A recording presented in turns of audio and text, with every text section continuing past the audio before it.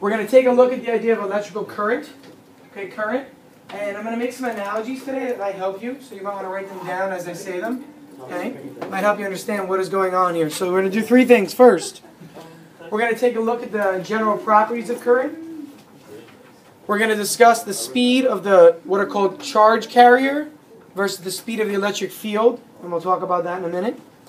And then we're going to differentiate between direct and alternating current. You've seen this before on devices. You'll see an AC current or a DC current.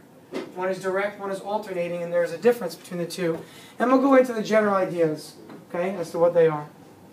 So we're again, we're on 19.1. So remember from last class, we did 18.1 in the last class. Okay, so we should, in your notes for this upcoming test after break, you're going to have the end of 17.2, you get all of 17.3, all of 18.1, and all of 19.1. Those are the sections. That's why it's only going to be like a 50 pointer. Um, well, questions of 19, for 19.1, are they on the problem set? They are. I put them up last night. So over break, guys, when you want to work on your problem set, which you'll have to do, obviously, you'll see that you already have stuff from 17.2, 3, and 18.1. That's the stuff I gave you photocopied. And the 19.1 portion is already on Moodle. Okay, if you want to check there today at any point. Remember, when, when did your problem set due? Yeah, the day you get back from break. Okay, the day you get back from break. Okay, read in, in letters at the top. Do not be late with that. Make sure it's due here the day you get back. The reason being is because it's going to count as part of your third quarter grade, and those grades are due four days later. So I can't have you handing in uh, late work for that, like you know, three, four, five days late for that, or else you're going to get a zero for the quarter, and it's going to really affect your grade. So even if you're not here on the day you get back from break, what should you do? Yeah, scan and email at least. At least get it into me so it can start be becoming graded, and so you don't get any points off for being late. And then you can bring in the you know original copy the next day or whatever. But make sure you get it in the day after break. And you should be done with almost all of it by now.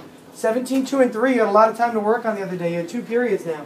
Okay, those should definitely be done. 18, 1 maybe in the works, and the 19, 1 we're working on today. But this section you're going to see is quite easy. Just an introductory to electric circuits. We're talking about current. Let's take a look and define current first. We're going to define it the, as the rate at which electric charges move through a given area. The rate. What do you think of when you hear rate? What do you think of when you hear rate? Yeah, distance and time, really. Good. Whenever you hear rate, you think of a rate as in something per unit time. So what this is, is the idea of how much charge is moving through a given area, the area of the actual, um, the actual wiring, rather, and over what time period is really what's going on here. Okay? So here's the analogy I want you to think about. And please write this down in big letters. Think of water flowing through a pipe. Think of water flowing through a pipe. Whenever you think of current, it will really help you a lot make the connection as to what is happening. So imagine you have this pipe, and instead of water suddenly, now there are tons and tons of electrons in there. Okay? So every water droplet that you would have seen inside the pipe is now an electron. To the point where it's overflowing with an abundance of electrons.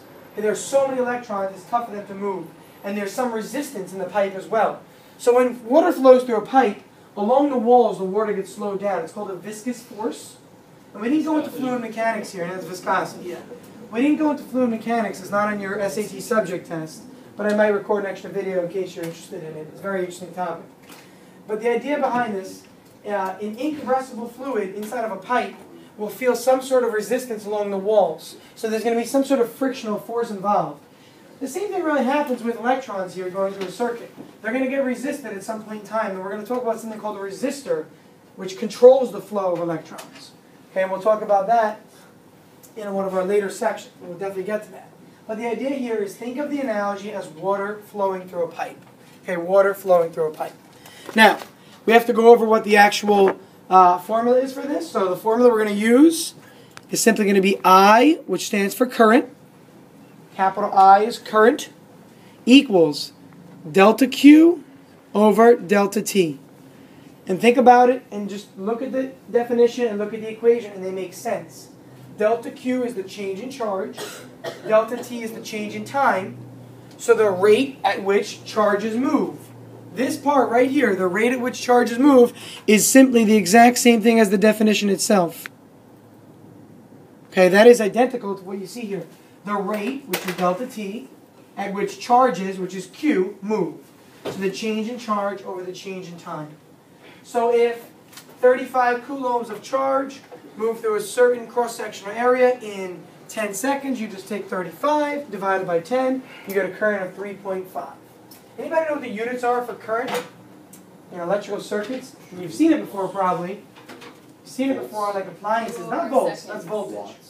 Not watts, that's power. It's energy. It's not something you've heard before in this class, so let's put it that way, it's new. But you might have seen it on appliances before. The units of current. AMH? What is it? AMH? Which stands for? I don't know. I'm Sorry, did Google give you that answer, or? Yeah. That- that- That's the, was that what he's saying or no? AMH, what does AMH stand for? Uh, the, the unit is ampere, yeah. Oh, amp, yeah. So you say amps, Amp, yeah. okay? The unit is actual ampere. So- like in a Yeah, guitar. A-M-P-E-R-E. Yeah, you've seen this in any electrical device, you'll see amps. So it could be a guitar, it could be any example you want to think of. So capital A is the units, capital A, and that stands for ampere, A M P E R E, which is abbreviated, you'll hear me say amps, A M P S. And I'll put that in quotes. Okay? So if something has 45 amps flowing through it, it means the current, the current is 45 coulombs per second. Okay, coulombs per second. Remember your units, break them down if you ever need to. Delta Q is coulombs, delta T is second, so an amp is really a coulomb per second. Just like we have meters per second with velocity, this is coulombs per second, but they were given a name as amps or amperes. Um, many applications of this. One that I thought I'd mention outside of you know appliances, computers, machinery. Your your body actually sends has current that runs through it, and there is electrical current that's running through your body every second. Anytime you want to make any motion with a muscle, every time your heart beats, there's literally an electrical circuit that is sent from your brain through your spinal cord, telling your heart to compress and to you know expand as it's as it's pulsating. If you want to lift your arm, think about it. The time it takes for your brain to tell my hand right here to move up has got to be on a, you know, on an order of like micro and milliseconds and nanoseconds, or else it wouldn't make sense, right? Think about it. If you touch a hot stove, what do you do automatically? You pull your hand away, right? But you ever hear about people that are doing like LSD and drugs that really mess up your mind? When they touch like a hot surface and they don't move it right away, and they'll literally burn their hand for a while. This is not like a false thing. What some of those drugs do is they lower your response time. So the electrical circuit that would normally go through your body is not happening anymore. And they'll sit there and like there are stories about people that have done some crazy stuff on different types of drugs that have killed themselves. And a lot of it goes back to the idea that there's an electrical circuit running through your body. And that electrical circuit is like a safety hazard for you. It's preventing you from hurting yourself. That's why if like if you ever I mean even if you like slam your finger in a door, you'll naturally pull it away, right? You're not gonna leave it there like, oh that hurts, ow. You're gonna, you're gonna pull your hand away. And it makes sense because the electrical circuit tells you, move my hand away. It's an automatic response as you grow up. Next. Have you ever seen the show Workaholics? Workaholics? No. I've heard of it though. Um, CBS? Yeah, No, so no, not of you. like acid, Thanks. and then and then the counter turns into jello. And the counter turns into jello? Yeah. So Wow. Yeah. When they're tripping? Wow, that has a lot Good to story. do with electrical current running through your is- body, Wait, doesn't so- it? That's because of the electrical Is there a travels to your disease that people lose that? And so they have like they end up losing a lot of limbs in their body because they can't tell when they are hurt Oh, it's or like like, um, like leopards or something like that. it's not leprosy, but I know what you're talking about. Yeah. Or Yeah, when they don't wait, have yeah, it is. Leprosy is when you can't, when you can't, you have like no nerve. You can't Yeah, I think that's what No, I happens. just It's wanna- not That is, that's leprosy, I'm positive. No, it's when they don't have something the else. pain. They don't. Yeah, I think it's You about pain though. cut You yourself, have a pain receptor. Oh, maybe leprosy does, but I Oh, think there's something else, not leprosy. It It's is just talking something about. else. There's That's more certain severe. monks- there- there's certain monks that can go into such a deep meditation that they can, they can allow their body not to feel pain. Thanks, thanks, Fernando. No, no, no, that's a good point. Yeah, yeah. Like, that's all mind over matter kind of thing. But again, the, the physics behind it is that the electrical circuit is That's sending actually kind of body. interesting how they're defined. 'cause Yeah. Nerve Oh, damage yeah. and muscle weakness. That's interesting. That gets worse That's over really- I mean- I've been practicing that for the past 12 years. I'm not even kidding. I've been practicing deep The, meditation. the ultimate goal for a lot of people that are like monks and stuff is to eventually like levitate. You know that, right? That's what their that's what their goal is, which would be really defined. But their goal is to impossible. Uh, there's actual there's actual monks that I've met that uh, That can do that, yeah. yeah they just don't tell people how to. Oh, I see. All right, you don't have to write all this, but let's talk about this. So, first, I'm not kidding. remember, conductors Okay, conductors, they're really looking at the flow of electrons through them. But it is possible for protons to flow as well, which makes it a little bit difficult to talk about electric circuits. So electric circuits, there is an electron flow flowing through the circuitry. So when the light bulb lights up, there's electrons flowing through and they hit the light bulb which acts as a resistor and gives off that energy in the form of light. But there are ways to make protons travel also. So negative charge can flow or positive charge can flow. Okay, and one of the examples I put parentheses there is a particle accelerator. Particle accelerator can uh, accelerate protons through its path and cause them to actually collide, and that's where they have things like um, fission. Now, a combination, okay, a combination of this can also occur of positive and negative flow, and that's when we look at things like gases and dissolved salts. So if you look at a liquid that has salts dissolved in it, and some of you might have done this before actually, if you you can make what's called a salt bridge, and maybe if you had a you know a, a middle school that did a lot of projects in science, you might have done this, maybe not. But the idea is that if you have salts dissolved, listen, if you have salts dissolved in the water, they become uh, the water becomes charged with ions, and that becomes what's called an electrolyte. And what happens is because there's an imbalance of charge, there will be a flow from one liquid to the other. So you can have flow that's going in both directions in that case. So there's some positive flow moving, some negative flow moving actually. So we've talked about the idea that any of these can happen, but traditionally, okay, traditionally we say that the direction of current is opposite the movement of the negative charges. That's the key here. And you'll see this in the diagram. So take a look at all the negative, uh, all the electrons here. They are naturally moving to the left. Say there's a positive pole at the end here. Okay, but we call the flow opposite the direction of the negative charge. And it's just a traditional thing. It really doesn't matter, but you're going to see this over and over in all your textbooks and anything that you ever study in physics, that the flow of current is opposite the movement of the negative charges. Okay, Stash. Um, I just like a question. Shoot. Um, do you know what happens to all the electricity that isn't used? Because I mean, because like they don't store any electricity they make. So Well- does it, does it just like do they Always just ground it? So it can be grounded or it can be stored in capacitors. You know what a capacitor is, Yeah, right? but they don't. They don't really have any big large Flux capacitors. I mean, what? They don't really have any large scale capacitors. So for example, like what do you mean? Like in your house, if you I mean, like like from like the power plants. Like um, I don't know. That's a good question. They're, they're generating electricity using generators, obviously, and some sort of. I mean, some of them might use a solar panel and stuff, but. At some, points they use it, some points they don't. So what happens to it all? Maybe it gets dissipated and it gets grounded. Yeah, it's a good question. I'm not sure. Like what a power plant does with its surplus energy, pretty much, right? I mean, ideally they would hope to minimize, and that's using calculus actually, the the waste. So they come up with some sort of operation so that they have an idea of what they're doing. So there's definitely somebody there that's optimizing the scenario, but there's probably some energy that is lost. I don't know. It's a really good question. I'm not sure. Maybe you can look it up and tell us. But they're, they're starting to make batteries, like that. Wait, what's a battery? So if they're using if they have, if they have excess energy, if they have really large, heavy, um, like rotating discs in uh, in vacuums, Start writing, guys. so then like it um, so they can store energy that way. Interesting. But they don't have it yet. So right now they're just they have too much energy. How many times the keyboard throw it out? Let me look it up, maybe. I can try. Yeah. Yeah. Sure. Guys, write this example. Let's go. No, no. Uh, I found out to copy it, Okay. But, uh, The slides are also up and they're blank if you want to go. how do, how do I get this done? Oh, that really sucks. There's no double scroll on top of it or anything like that? Yeah, that's What? Let's see if we can solve it. And then this is only got this one. Ah. I mean, I, again, remember what I do? I go to Moodle on my computer and I save it to my Dropbox. And then I use the program I'm using and open it to Dropbox. Because it saves the actual PDF. So I don't know, maybe troubleshoot doing that. I know, sorry, man. I know you're saying though, you can't scroll on the view, right? Yeah, yeah, it's just one. It just pulls the first page off. I don't know, I think Max found something or some way to do it. What have you been using for your iPad? For what? Remember for the TDS Max, did you use a program? That was it? That enables you to download the whole PDF? Because what Dan is doing is he's downloading it to a program but it's only, you know how in Moodle it only shows the first page of the PDF Yeah, until you yeah. scroll? He can only get the first page of the PDF, he can't get the whole document. That's, a, that's, that's a rookie mistake.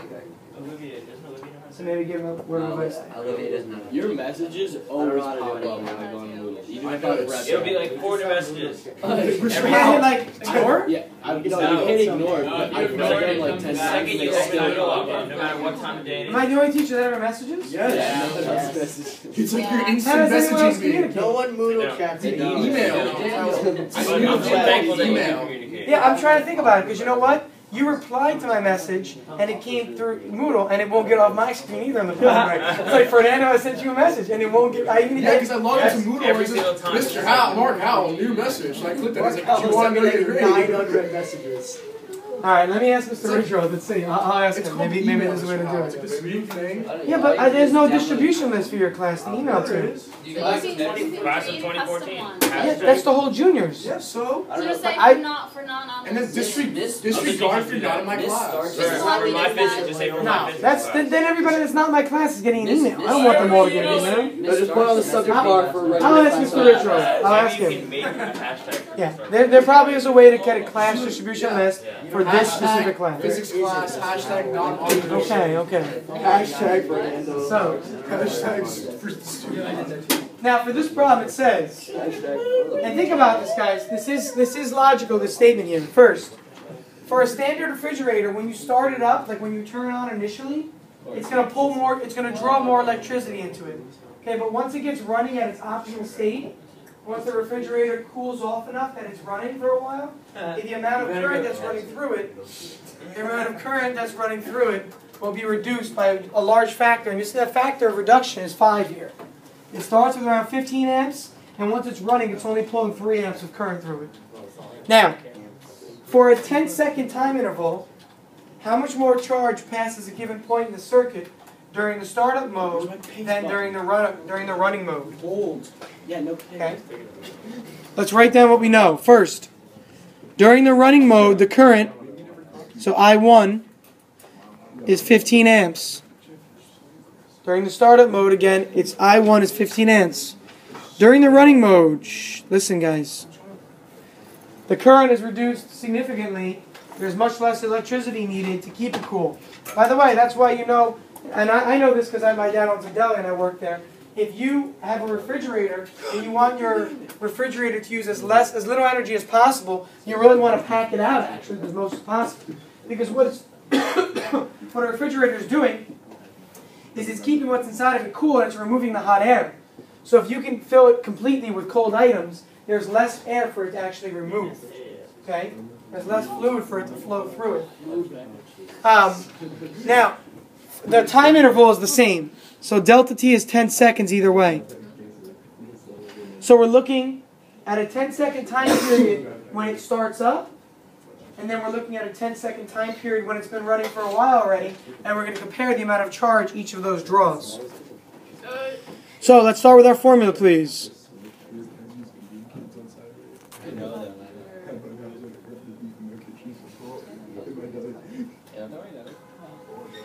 No, seriously, I was, I was not kidding about the genocide. Now, solve for delta Q by moving delta T up, please. Again, solve for delta Q by multiplying both sides by delta T or just moving it up. Okay? So what we can do is we can find the amount of charge that passes during the startup mode by using the current in the startup mode and the time period of 10 seconds.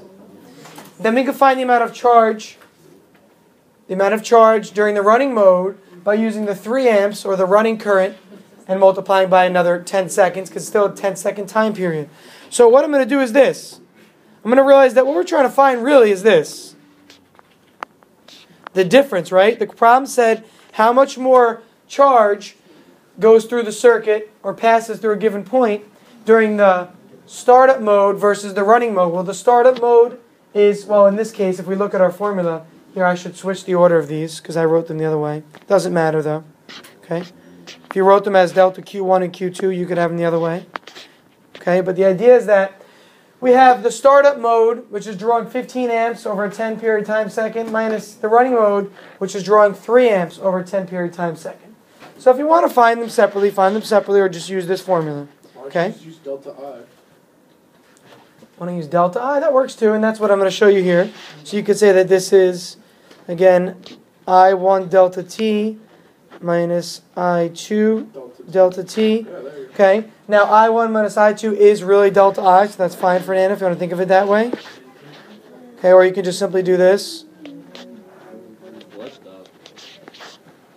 by factoring out a delta t. If you got confused at this point here, or if this is getting a little bit weird at this point, just plug in each of the scenarios here and then subtract the two. Okay, so you can do it up here by going like this, and you can find delta q2 is I2 delta t. Okay, what was I2? I2 was 3, right? And I1 was 15. So this is 15 times 10 up here for the amount of charge during startup mode. During running mode, it's just 3 times 10. so we have 150 minus 30, really. Okay, 150 minus 30. So you're going to have a difference in charge of 120 coulombs. It's the same answer we'll get down here.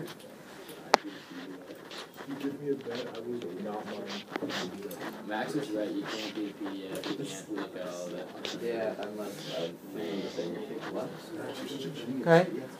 Either way, it's 120. So the idea here is all I wanted to do was practice finding the charge that passes a given point due to a certain current, but do it twice. Do it for startup mode, where it's running at 15 amps. Let me move this over so you can see better. Do it at startup mode, where it's running at 15 amps for a period of 10 seconds. You'll get 150 coulombs of charge. Then during the running mode, where it's running at 3 amps for 10 seconds, it'll be 30 coulombs of charge. And the question was, what is the difference in the amount of charge used in each of these scenarios? It's just the difference between the two. 150 minus 30 gives us 120, or you could have done it this way that I was showing you again. Is it possible to figure out each charge? You could have done it this way as an alternate solution. Is it possible to figure out each charge? That's what I was showing above here. So look. Then 150 minus 30 gives you the 120 that's down here. Uh, okay, so you could find the amount of charge during startup mode, the amount of charge during running mode, subtract the two and get the 120, or you can write it this way. Whatever is easier. I'm just showing that this is what we're doing. We're finding the difference in charges, replacing the formulas, factoring out a delta t, and then plugging in. But the above way works the same. It's identical. Max. Yeah. Okay, yeah, it's not meant to be tough math at all, guys. The only tough part you're going to get to, an example in your problem set and in your homework example says that electrons flow through. It says like, you know, a certain amount of electrons flow through. So if you want to know how much charge is flowing, you need to remember that the electron charge is, yes, go ahead, 1.6 times 10 to the, Negative 19. yeah, negative 19 coulombs. Good memory, Jeff. Jeff. Okay? So again, say there are thousand electrons flowing through a circuit over a certain given time period. You want to find the current. The charge on electron needs to be multiplied by a thousand to see how much charge is flowing through. Okay? See how much charge is flowing through, and then divided by the time period to find that current. Okay, to find that current. Let's take a look at this next part. So we're going to talk about something called drift velocity. Write down the definition, please, and then we'll talk about the rest. Please write. Please write down the definition. Okay, just the definition at the top. So we have the net velocity, the net velocity, net meaning overall, of a charge carrier moving in an electric field.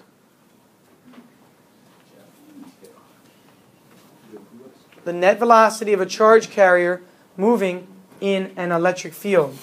And I wish we were in 401 today because I had a, a good example, but the stuff's up there. But I can explain it to you to think about. It might be easy. So, first, let's talk about what's happening here. So, when a switch is turned on, okay, what happens is it establishes an electric field. Okay, the electric field is what causes the electrons to go in motion. And think about an electric field. The electric fields that we were talking about, you can have uh, a positive point charge or a negative point charge, which either draws toward it or pushes away. So when you turn a light switch on, you're setting up an electric field, which is then causing the electrons to move. Okay? The electric field travels almost at the speed of light, but the charges themselves, remember we said, think about those as if it's water, right? And water through a pipe is going to feel some resistance. So the electrons that are flowing are flowing because the metal in the wire is allowing it to, because it's a conductor. So those electrons are not only feeling resistance from like, you know, the walls of the conductor and the wiring, but they're also bouncing off of the atoms in the metal. So there are tons of collisions going on. So see this diagram on the right? This is actually what you would see if you were able to map the trajectory of an electron through a circuit. Okay, so in the middle of the wire, it's going through the wire, but it's hitting into all these atoms. It's bouncing back and forth. So there's tons of collisions. So they're vibrating with these metal atoms, they're hitting them, and it's slowing them down. So the actual speed, and this is kind of interesting to think about, and I wrote this down for that reason. The, the actual speed of electrons is quite slow. It's, ready? 0.0003 meters per second. Okay, so it's going very, very slow. So you might think to yourself, well, that doesn't make sense though, because when I turn the light switch on, I see the light instantly, right? But what it's doing is it's carrying the signal, really. It's carrying the signal to the other electrons in the circuit. So, for example, here's, here's your analogy for this one to make you make you make it easier to think about. Imagine you take a ruler, okay, like a normal ruler. Now, have you ever seen the plastic rulers that have like a almost like a slot in the middle down the whole way of the ruler? Yeah, And I'm gonna I'm gonna draw what I'm saying here. So imagine you have a normal ruler, okay, and there's like a little cave like carved out of here, a little channel, okay, and you put your pencil, you put your pencil in that channel sometimes if it's sitting on your desk.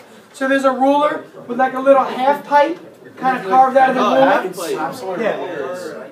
All right, now That's my terminology. imagine, listen, imagine if you took the ruler and you took a normal marble, okay, and you put enough marbles on the ruler so that the whole groove was filled with marbles. So there's marbles sitting everywhere on this ruler, okay? Now, imagine, it's an analogy. Imagine Just, just wanted to make sure. if you took one marble, guys, look up here, please. Come on, stop talking, look up here. Imagine if you took one marble and you decided to try and put the marble on one end of it. What would happen to the marble at the other end of the other side? It would fall off, right?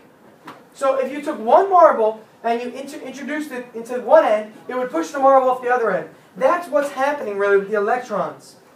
It's like as if you're, you know, you know when you like take a slinky or we you looked at vibrations, we talked about longitudinal vibrations, how the molecules bounce into each other and cause them to vibrate. That's what's happening here. So if one electron is introduced over here in the circuit or is caused to move, it's going to push all the other ones down the line. So the signal is automatically felt at the other end. So when I put that one marble in over here on the right side, the marble on the left hand side is going to fall off. That's like the signal that's passing that quick. So even though the marbles aren't moving quickly, the signal is sent to the other end of the circuit. Okay, it is sent to the other end. That's like exactly how you're talking about like how we work, how it's sent to the signal. Yeah, that's exactly right. Yep, exactly, Jeff. Okay, Stash, you had a hand. Still a question? Or you good? Okay. All right, let's talk about the next thing.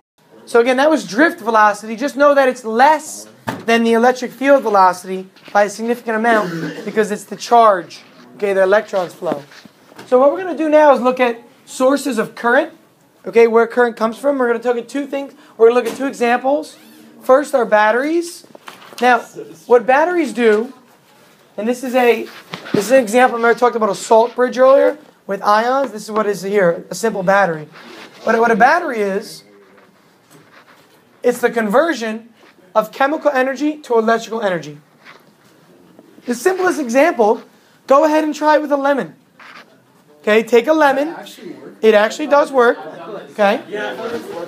Take a lemon. If you actually It's not gonna listen, it's not gonna hurt you. It will not hurt you. Okay? Take a lemon. Squeeze it. Shh, listen, come on. Take a lemon, take a wire, two pieces. If you were to put two pieces of the wire into the lemon, and then say you took those lemons and touched them to your tongue, you'll feel a little bit of like a, a bitter taste. You'll feel the current flowing through your tongue.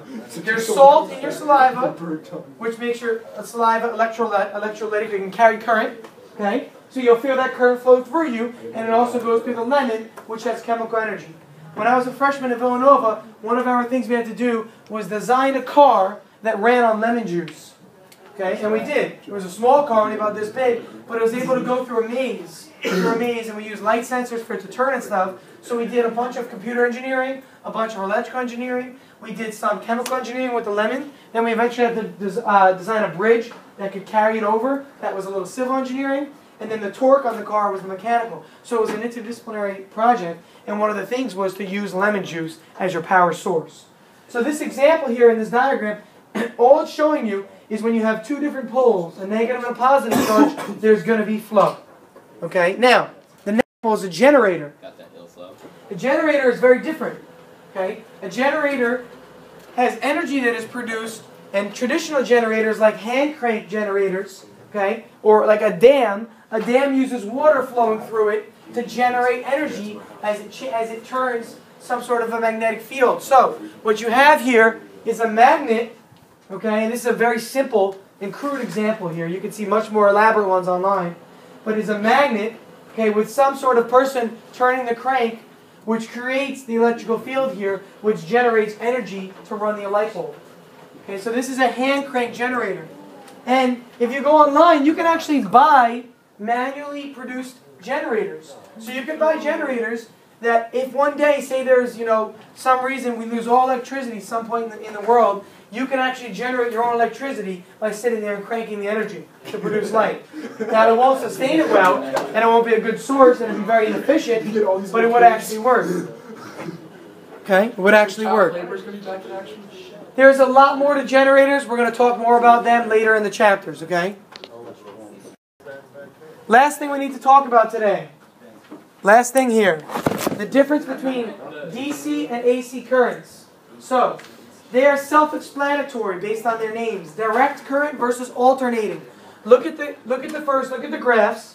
A direct current just means it is what's the word? When something doesn't change? Then uh. It is linear for sure. But when it doesn't change, constant. Good, Cammy. There's Well a done. constant current. Whereas the current on an alternating current is switching back and forth actually. And the issue here is this: for a direct current, the battery terminals are fixed. So imagine if you looked at the current flowing between the terminals on a 9 volt battery. It would go from one end to the other. Okay, always. But with an alternating current, we have an example where the poles, okay, or the terminals are constantly changing signs. So the motion is constantly changing. And this is actually alternating current is what you see in your house. But you don't notice it. You don't notice the lights flickering. You don't notice the change and you don't notice that variation. Anybody know why? Why don't you see the lights flickering right now? Because they sure are. If our eyes were keen enough, we'd be able to see it. Yes, exactly. Oh. It's faster than what your eyes can perceive. It's, a, it's at a rate of traditionally 60 hertz, which means that the current is fluctuating 60 times every second. Every single second. If the current, if the vibrations or the oscillations were to slow down enough, you would actually see the lights flickering. But you don't see them flickering. Okay? The United States has a standard of 60 hertz it has to maintain. So the electricity that you see is always above 60 hertz. Okay? Jack and Fernando. I uh, yeah, like I watch a lot of car videos online, and uh, all the Are you like Listen. all the lights, uh, the lights always flicker because like with the camera, the camera, the sh- usually like if it's a nice camera, the shutter speed or whatever, like It's Right. faster than what? yeah, It's faster more than than 60 frames per second. Yeah, Yes. especially if it's in slow motion. He's exactly right. When the camera's higher than 60 frames per second, it's able to see faster than the actual frequency, so it can pick up on that flickering. Good point, Jack. Really good point. Fernando. You good? Jeff. Uh, who was it who told me in this class, Matt? Someone told me that there's a, a guy in Germany or someone who created the light bulb.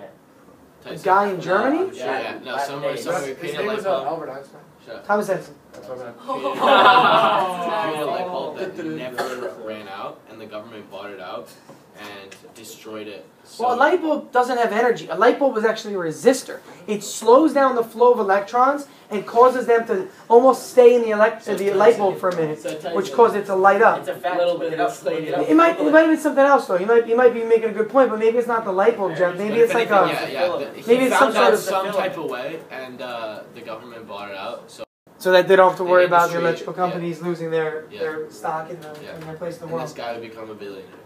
I don't know. I don't know. I'd love to see it. If you, Tyson, if you can find the link for it. me. Google. Yeah, Google it and send it to me, please. Guys, over break, listen. Well, I'll have you tomorrow still, sorry. But tonight work on this homework, but remember over break to work on your problem set. Okay, some of these problems here from this homework are going to talk about, say, like thousands of electrons flowing. You need to practice this tonight. So tomorrow in class, if you have a question, you can ask. Please, okay? Because over break, you're going to have a problem similar to your homework ones tonight. Make sure you practice this tonight. Okay, make sure you practice this one tonight. Ow, what? What? I just